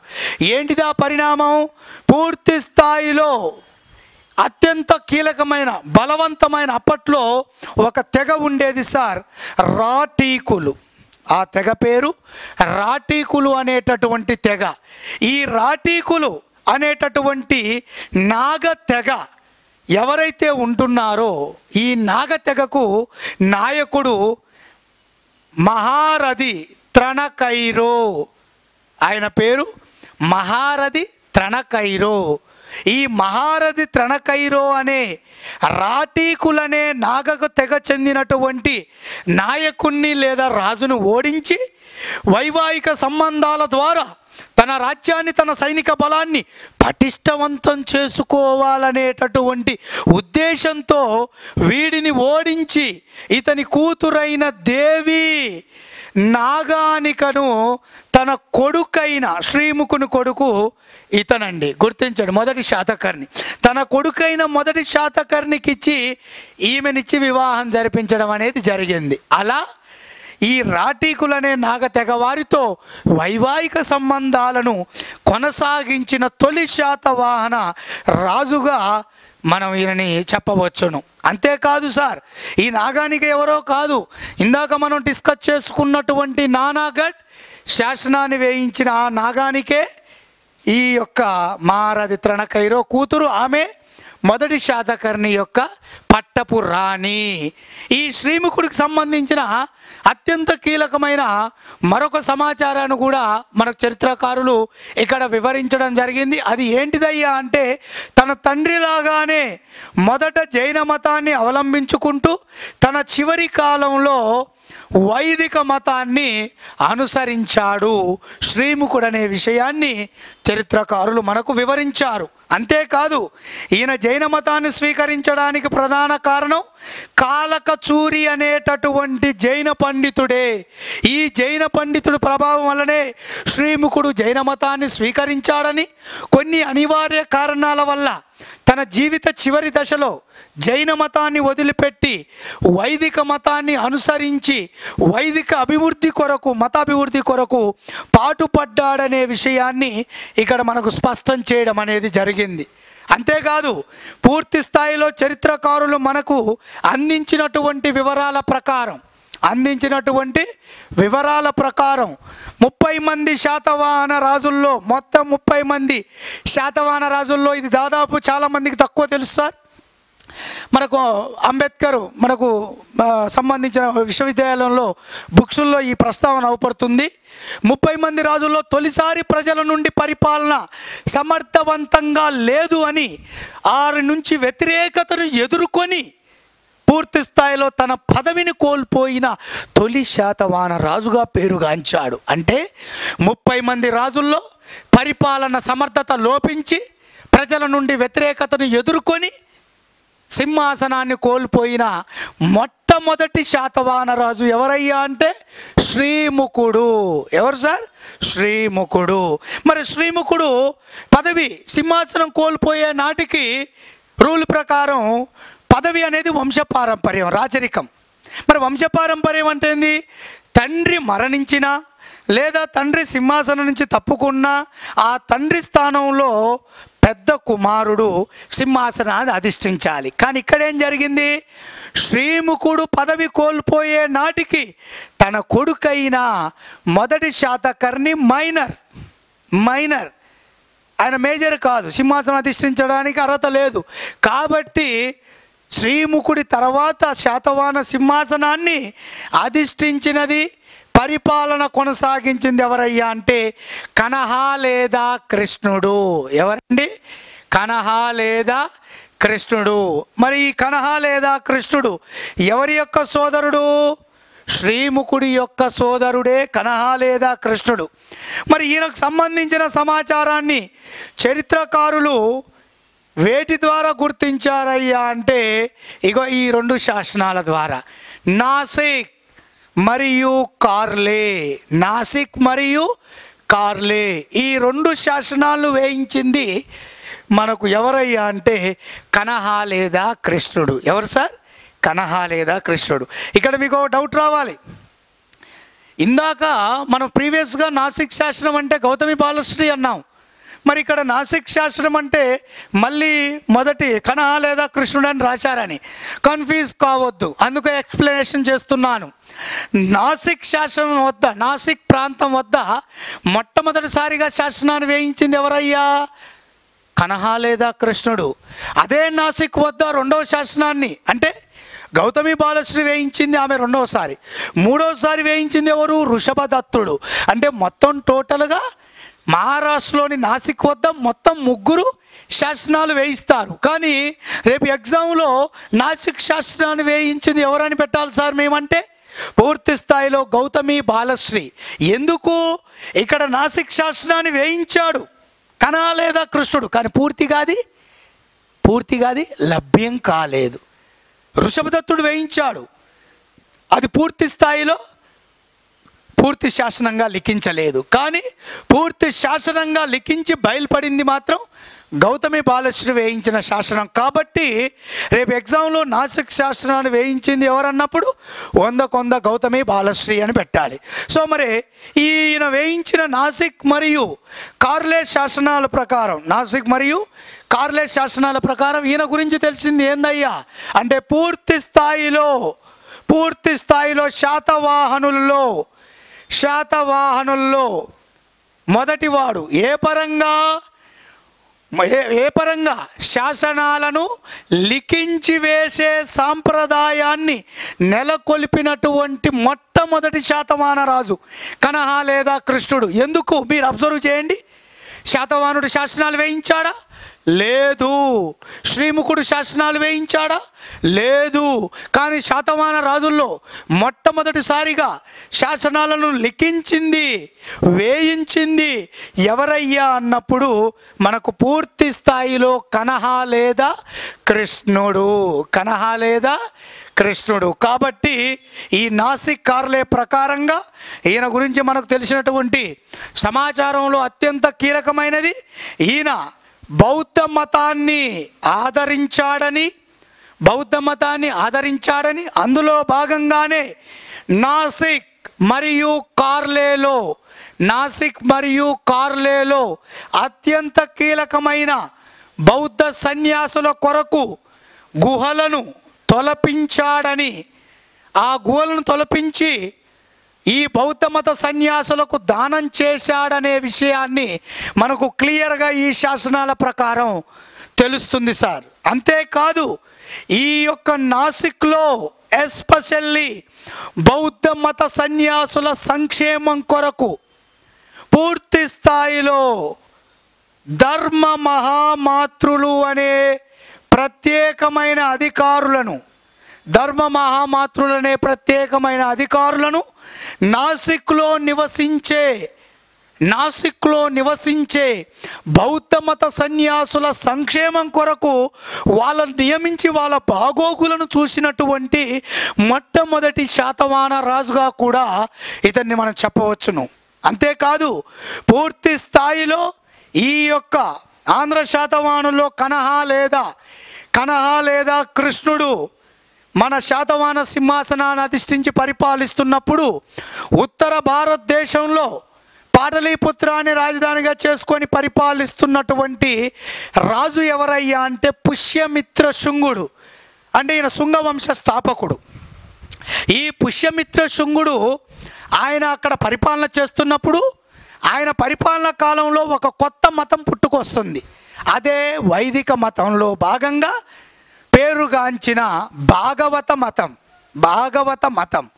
ఆ వైదిక మతంలో ఒక భాగమైనటువంటి భాగవత మతాన్ని పూర్తి స్థాయిలో ఈ పుష్యమిత్ర శృంగుడు అక్కడ వ్యాప్తి చేయడం అనేది జరిగింది.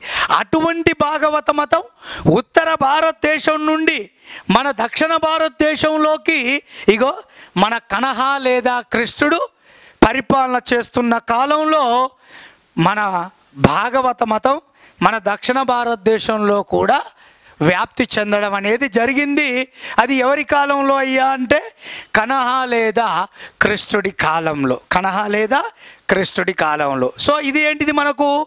కనహ లేదా కృష్ణుడికి సంబంధించినటువంటి సమాచారం. మరి ఇతని తర్వాత శాతవాహన సింహాసనాన్ని అధిష్ఠించినటువంటి రాజు ఎవరయ్యా అంటే శ్రీముఖుని కుమారుడైన మొదటి శాతకర్ణి. శ్రీముఖుని కుమారుడైన మొదటి శాతకర్ణి. మరి ఇందులో ఈయన శాతవాహన రాజ్య స్థాపకుడిగా పిలువబడ్డాడు సార్. శాతవాహన రాజ్య స్థాపకుడు అంటే ఆల్రెడీ మీకు ఎక్స్ప్లెనేషన్ చేశాను. మనకు శాతవాహనుల్లో ముప్పై మంది రాజుల్లో శాతవాహన వంశ మూల పురుషుడు అన్నప్పుడు శాతవాహనుడు శాతవాహన వంశ స్థాపకుడు అన్నప్పుడు శ్రీముఖుడు లేదు శాతవాహన రాజ్య స్థాపకుడు అన్నప్పుడు మొదటి శాతకర్ణి అని చెప్పాలి. ఎందుకు సార్? శాతవాహన రాజ్య స్థాపకుడని మొదటి శాతకర్ణిని చెప్పాలి అంటే పూర్తి స్థాయిలో ఆంధ్ర శాతవాహనులు ఇతని కాలం నుండే సామంత స్థాయి నుండి స్వతంత్ర స్థాయికి చేరుకోవడం అనేది జరిగింది. సామంత స్థాయి నుండి స్వతంత్ర స్థాయికి చేరుకున్నది ఎవరి కాలంలోనయ్యా అంటే ఈ యొక్క మొదటి శాతకర్ణి కాలంలోనే. ఎవరి కాలంలో? మొదటి శాతకర్ణి. అంటే అప్పటి వరకు ఒక రాజవంశం కింద సామంతులుగా ఉన్నటువంటి వీరు పూర్తి స్థాయిలో స్వతంత్ర స్థాయికి ఎదగడం అనేది జరిగింది. ఎవరి కాలంలో? మొదటి శాతకర్ణి. అప్పటి వరకు మౌర్యులకు సామంతులుగా ఉన్నటువంటి వీరు మౌర్యులు పతనమయ్యారు కాబట్టి మౌర్యుల సామ్రాజ్య పతనం తర్వాత వీళ్ళు సామంత స్థాయి నుండి స్వతంత్ర స్థాయికి చేరుకున్నారు. కాబట్టే శాతవాన రాజుల్లో మొదటి శాతకర్ణిని శాతవాన రాజ్య స్థాపకుడిగా చెప్పడం అనేది జరిగింది. మరి ఈయనకు సంబంధించిన ఆధారం అనేది చరిత్రకారులకు ఏ రూపంలో బయలుపడ్డదయ్యా అన్నప్పుడు పూర్తి స్థాయిలో శాసనాల రూపంలో. అందులో ఈయన గురించి వివరించినటువంటి శాసనం ఏంటంటే నానాగఢ్ ఎవరు వేయించారు?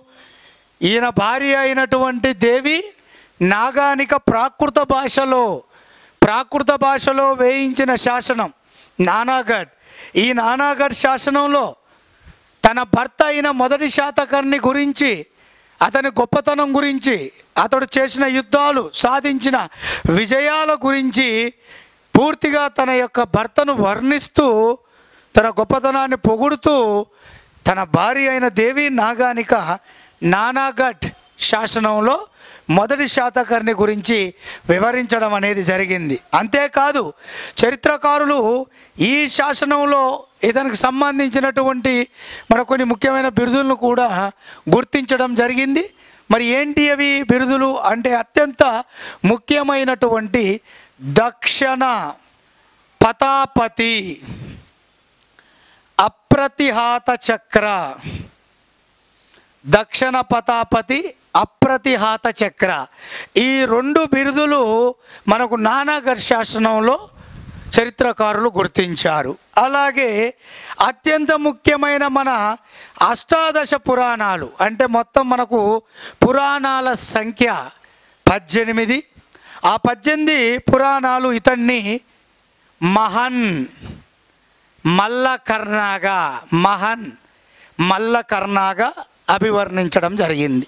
మీరు ఇక్కడ ఒకసారి అబ్జర్వ్ చేసినట్లయితే నానాగఢ్ శాసనంలో దక్షిణ పతాపతిగా అప్రతిహత చక్రగా పిలువబడితే అష్టాదశ పురాణాల్లో ఇతడు మహన్ అలాగే మల్లకర్ణ. ఈ రెండు పేర్లతో పిలువబడడం అనేది జరిగింది ఎవరయ్యా అంటే మొదటి శాతకర్ణి. అంతేకాదు తన భార్య దేవి నాగానిక వేయించినటువంటి నానాగఢ్ శాసనం ప్రకారం ఇతడు కళింగ విదర్భ ఉజ్జయిని మొదలగు ప్రాంతాలను జయించాడు అన్న విషయాన్ని కూడా చరిత్రకారులు మనకు వివరించారు. కళింగ విదర్భ ఉజ్జయిని. అంతేకాదు తన అద్భుతమైన ఈ విజయాలకు గుర్తుగా ఉజ్జయినిని విజ్ ఉజ్జయిని అనే ప్రాంతాన్ని ఆక్రమించినందుకు గుర్తుగా ఇదే ఉజ్జయిని పట్టణ గుర్తుతో ఉజ్జయిని పట్టణ గుర్తుతో ఇతడు తొలిసారిగా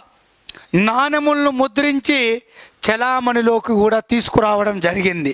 ఆ నాణ్యాల ప్రకారంగానే పూర్తి స్థాయిలో నాణ్యాల ప్రకారంగానే పూర్తి స్థాయిలో ఇతడు మగధ ఐ మీన్ కళింగ విదర్భతో పాటు ఉజ్జయిని కూడా ఈయన జయించాడు అన్నటువంటి విషయాన్ని ఇక్కడ మనకు స్పష్టం చేయడం అనేది జరిగింది. అంతేకాదు ఈ యొక్క నాణ్యాల్లో సేమ్ ఉజ్జయిని పట్టణ గుర్తుతో పాటు గజ గుర్తుతో కూడిన నాణ్యాలను కూడా విడుదల చేశాడు.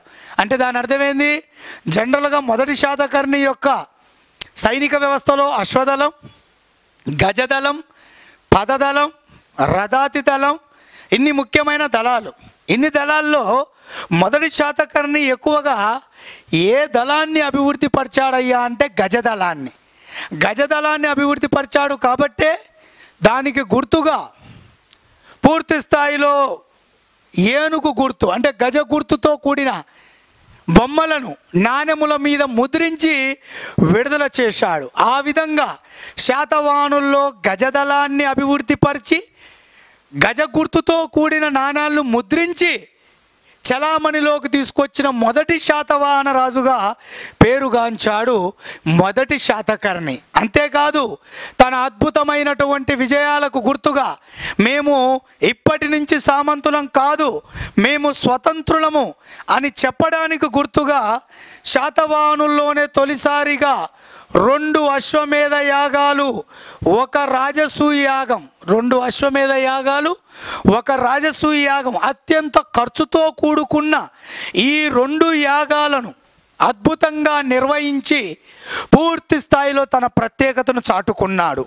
తన సార్వభౌమాధికారాన్ని చాటుకున్నాడు. అంతేకాదు సార్ అత్యంత అద్భుతమైనటువంటి శాతవాన్లో తొలిసారిగా వైదిక మతాన్ని అనుసరించి వైదిక మత అభివృద్ధి కొరకు తొలిసారిగా యజ్ఞయాగాదులు నిర్వహించడంతో పాటు యజ్ఞయాగాలు సఫలీకృతం కావడానికి భగవంతుడి స్వరూపంగా భూమి మీద భావించబడిన బ్రాహ్మణ వర్ణానికి చెందినటువంటి బ్రాహ్మణులందరికీ ఉచితంగా పన్నులు వసూలు చేయనటువంటి భూములను దానం చేసి తొలిసారిగా తన ప్రత్యేకతను చాటుకున్నాడు. అంటే దాని అర్థమైంది? తొలిసారిగా తన పరిపాలన కాలంలో బ్రాహ్మణులకు అగ్రహారాలు అగ్రహారాలు అంటే ఏంది? పన్నులు వసూలు చేయనటువంటి గ్రామాలు.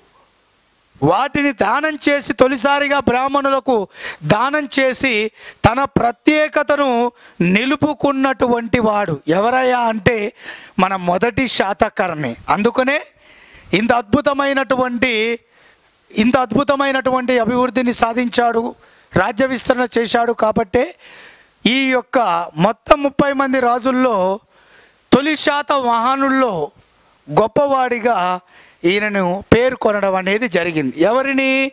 మొదటి శాతకర్ణిని. మరి ఈయనకు సమకాలికులైనటువంటి ఇతర రాజవంశాలు ఎవరైనా ఉన్నారా? అంటే రాజవంశాలకు సంబంధించిన రాజులు ఉన్నారా ఎస్ కళింగ కారవేలుడు. కళింగ కారవేలుడు.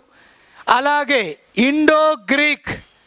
ఇండో గ్రీకు వంశానికి చెందినటువంటి వాడు. ఇక్కడ మీరు చూస్తే ఈయనకు సమకాలికులైన రాజులు ఒకసారి చూడండి. కళింగ కారవేలుడు. అలాగే ఇండో గ్రీక్ రాజు లేదా ఇండో బ్యాక్టీరియన్ అనే వంశానికి చెందిన రాజు డెమిట్రియస్. డెమిట్రియస్ అలాగే శృంగ వంశానికి చెందిన పుష్యమిత్ర శుంగుడు పుష్యమిత్ర శుంగుడు.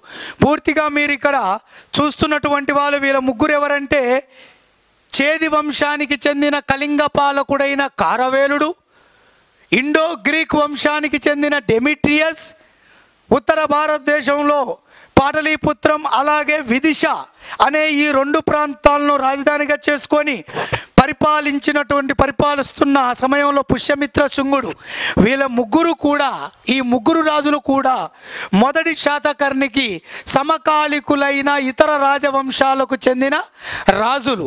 వీళ్ళ వీళ్ళ ముగ్గురు గురించి ఎందుకు చెప్పవలసి వచ్చింది అంటే మన ఆంధ్ర శాతమాన రాజు అయిన మొదటి శాతకర్ణి వీళ్ళ ముగ్గురిని కూడా ఆయా యుద్ధాలలో ఓడించి తన రాజ్యాన్ని విస్తరింప చేయడం అనేది జరిగింది. అందులో నిజంగానే వీళ్ళ ముగ్గురు ఇతనికి సమకాలికుల నిజంగానే వీళ్ళ ముగ్గురి మీద పూర్తి స్థాయిలో విజయాన్ని సాధించాడా మొదటి శాతకర్ణి అనడానికి నిదర్శనంగా చరిత్రకారులకు ఉపయోగపడిన శాసనాలు రెండు. ఒకటి ఒకటి దేవి నాగానిక వేయించిన నానాగఢ్ శాసనం. రెండవది ఈ కళింగ కారవేలుడు వేయించిన హాతీ గుంప శాసనం. ఏంటి సార్? హాతీ గుంప శాసనం. హాతీ గుంప శాసనాన్ని వేయించింది ఎవరు? కళింగ కారవేలుడు. సో తన యొక్క ఓటమి గురించి ఇందులో వివరించుకున్నాడు. తనకు సమకాలికులైన పరిపాలకుల గురించి కూడా ఇందులో వివరించుకున్నాడు.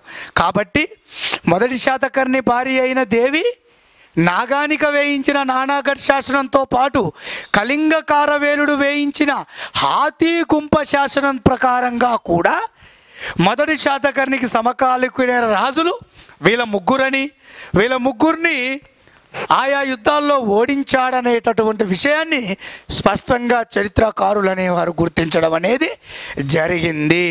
ఇది మనకు పూర్తి స్థాయిలో ఎవరికి సంబంధించిన సమాచారం అయ్యా అంటే మొదటి శాతకర్ణికి సంబంధించిన సమాచారం. మరి మొదటి శాతకర్ణి తర్వాత వచ్చినటువంటి వాడు ఎవరయ్యా అంటే ఆయన కుమారుడైన పూర్ణోత్సంగుడు ఈయన ఈ పేరుతో కూడా పిలువబడ్డాడు. వేదశ్రీ శాతకర్ణి. అంటే పూర్ణోత్సంగుడికి మరొక పేరు వేదశ్రీ శాతకర్ణి. ఇదే అసలు పేరు. పూర్ణోత్సంగుడి యొక్క అసలు పేరు వేదశ్రీ శాతకర్ణి. ఈయన కాలంలో జరిగిన పరిణామం మనకు ఒకే ఒక్కటి సార్. అది ఈ శాసనం ద్వారా తెలుస్తుంది. ఏ శాసనం? హాతీ గుంప శాసనం ద్వారా. ఎందుకు?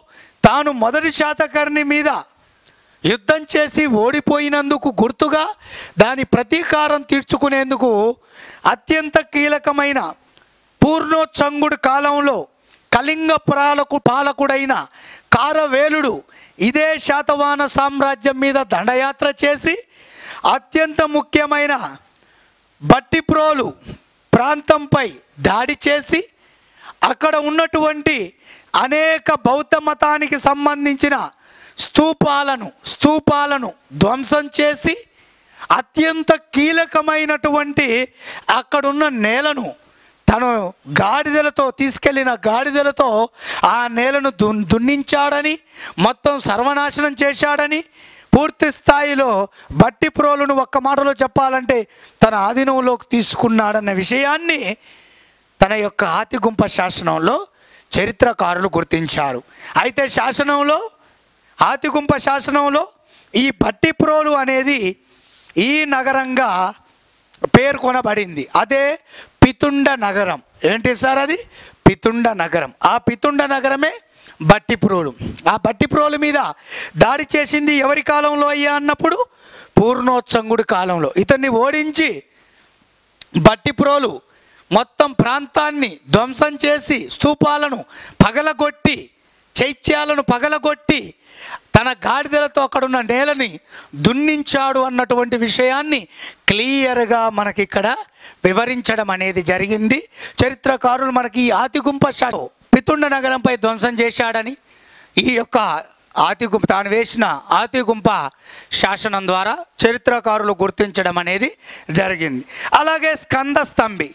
ఈయన కాలంలో జరిగిన పరిణామం ఏమి లేదు సార్ అత్యంత కీలకమైన దాంట్లో స్కంద స్తంభి కాలంలో రాజ్య విస్తరణ శాతవాహనుల కాలంలో ఈయన ఒక్క కాలంలో రాజ్య విస్తరణ సరిగా జరగలేదు సార్.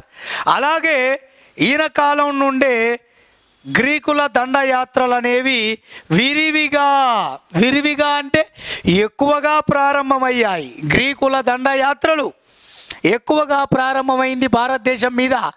ఎవరి కాలంలో అయ్యా అంటే ఆంధ్ర శాతవాహన రాజుగా స్కంద స్తంభి పరిపాలన చేస్తున్నటువంటి సమయంలో ఈ గ్రీకుల దండయాత్రలు అనేవి ప్రారంభం కావడం అనేది జరిగింది.